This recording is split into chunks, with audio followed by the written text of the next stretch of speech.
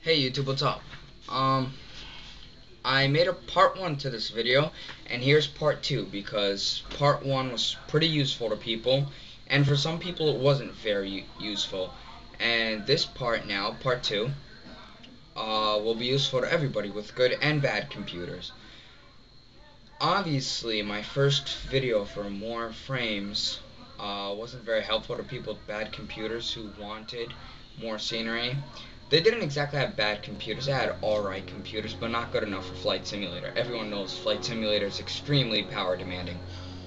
So here's something helpful that you can use to combine part 2 and part 1. When you get to your main Flight Simulator folder, I will not tell you how to get there because it's pretty obvious to everybody.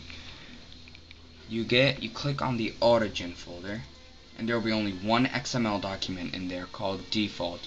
You right click, rename, and put default old. D-E-F-A-U-L-T-O-L-D.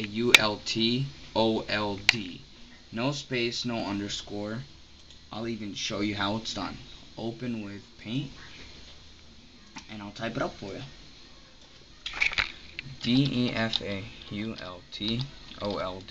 It should, the new XML document's name should look like this. For some people it helps, for some people it doesn't. Why does it work?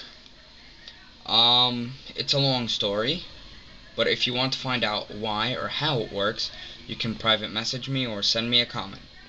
Thank you for watching. Hope you guys get, well, more frames in your flight simulator. If you have any other questions, you could send me a private message or comment, as I said before. And there's a part 3 coming. It's very soon.